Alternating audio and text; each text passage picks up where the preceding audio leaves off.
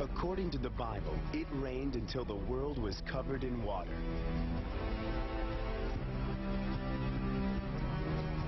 Such a catastrophe should have left evidence all over the planet, in the form of uniform marine sediments spread across the Earth and the ocean floor.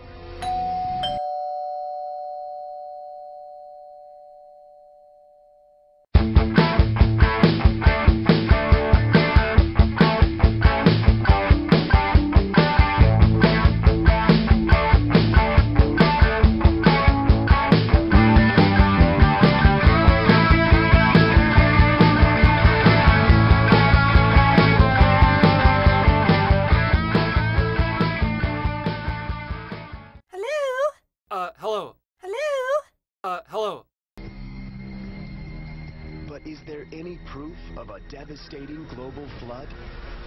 Hello?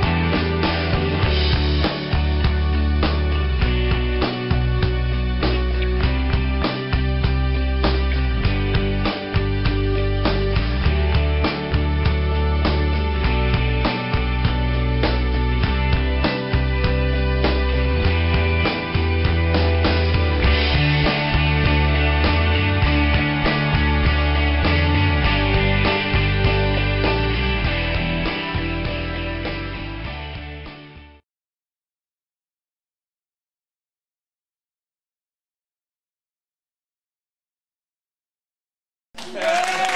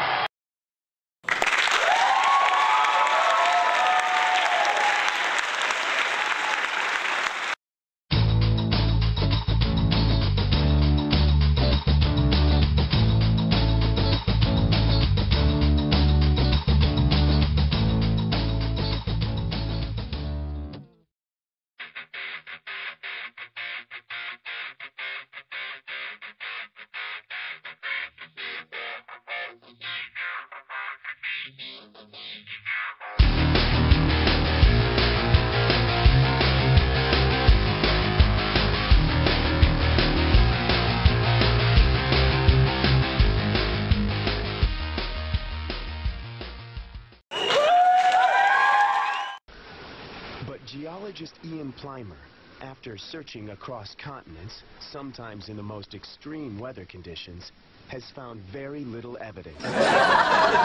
flood would leave a signature. It would be a very, very large signature apparent all over the world. there is no evidence. In fact, there is only overwhelming evidence to the contrary.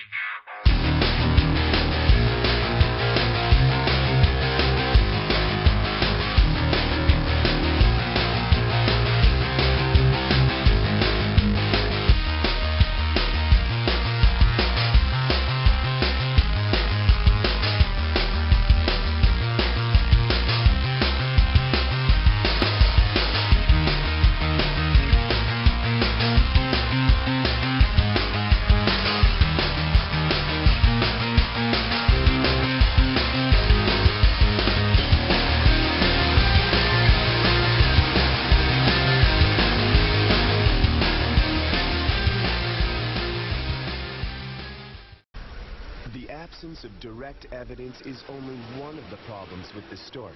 the whole idea of a global flood flies in the face of what is known about planet Earth. the entire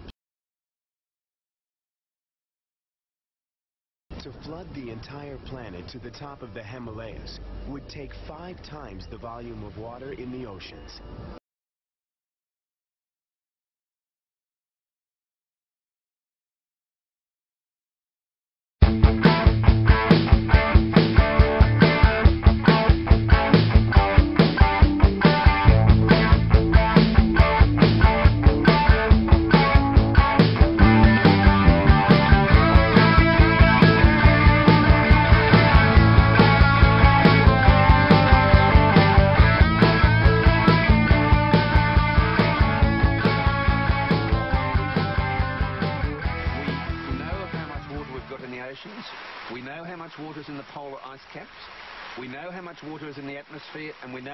Water is in the rocks.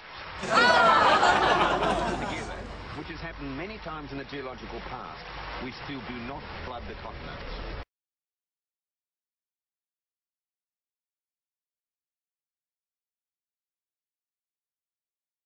Geysers present another potentially fatal problem. Huge amounts of noxious sulfur-rich gas.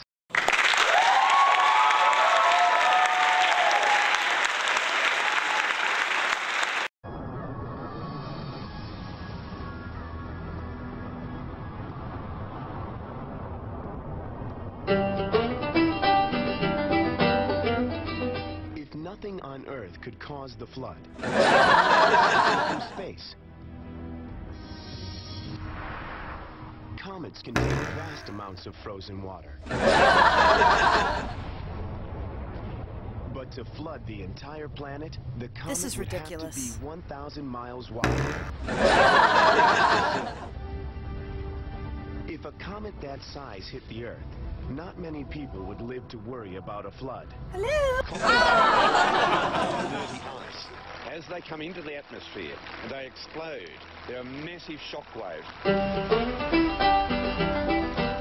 Massive areas of forest wiped out. Huge extinctions of life from a comet. This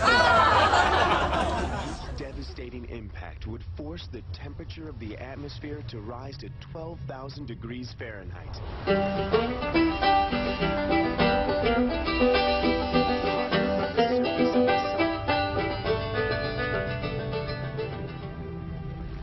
Have had no life to go onto an ark.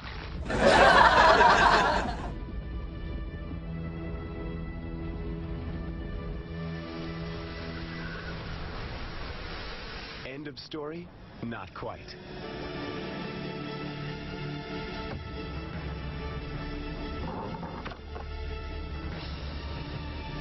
According to the Bible, Noah's Ark landed in the mountains of Ararat, today in eastern Turkey.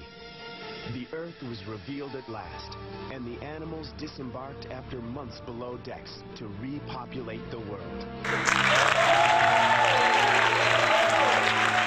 So, are there any remains of the Ark?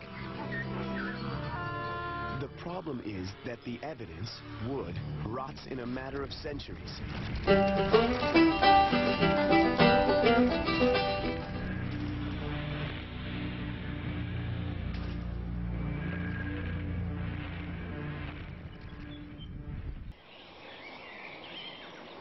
This piece of wood was found, it was thought to be the clue. This is what we need to show we have Noah's Ark. And so they took the wood to date it. And you can date wood by measuring tree rings or by carbon dating. It wasn't old enough.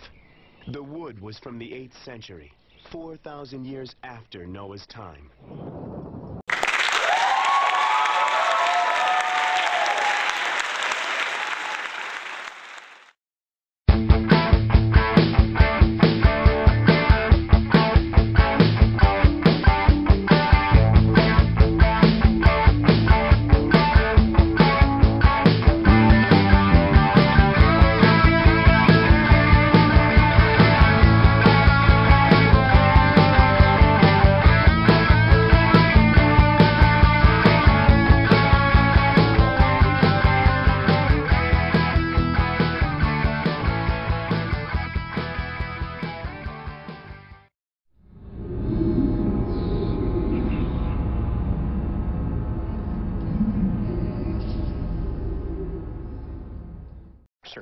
Want desperately to be able to support the Bible in an age of doubt, in a modern rational age.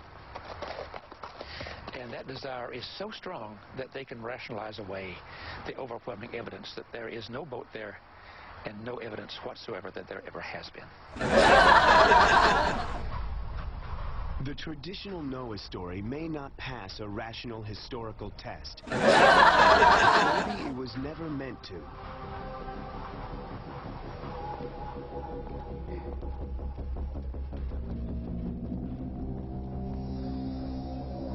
Biblical scholars using clues in the language used by the Bible agree that the story of Noah was physically written down in the 6th century BC. The scribes who wrote it were Jewish priests who were in exile. Maybe they sat down one day to make up a cautionary tale about what happens when people disobey God. Have some seeds of truth. Maybe the Noah story is an exaggeration, an embellishment of something that really happened.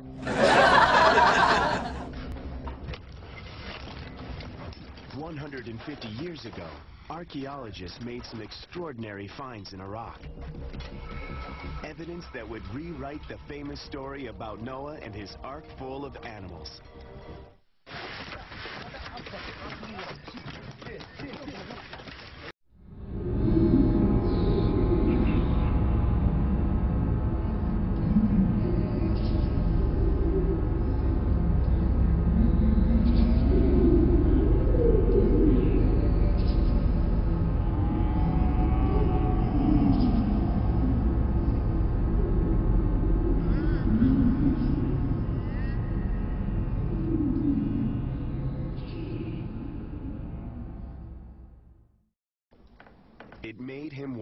Perhaps the Bible never meant a global deluge.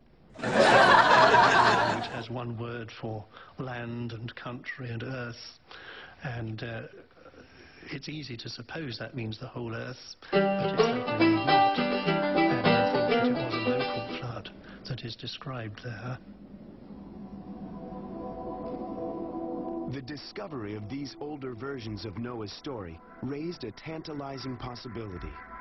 What if they had been inspired by an actual flood? Not a global deluge, but a regional flood in Mesopotamia.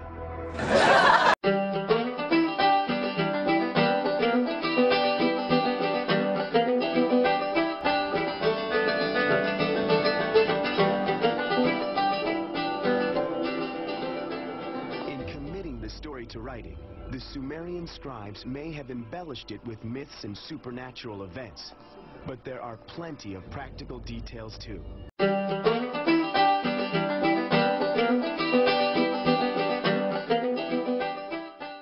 And they are priceless in reconstructing a story that's historically plausible. However, it does mean starting afresh. Hello? Uh, hello. It means setting aside the storybook image of the huge ark the global deluge. The number of animals. And the landing on Mount Ararat. Above all,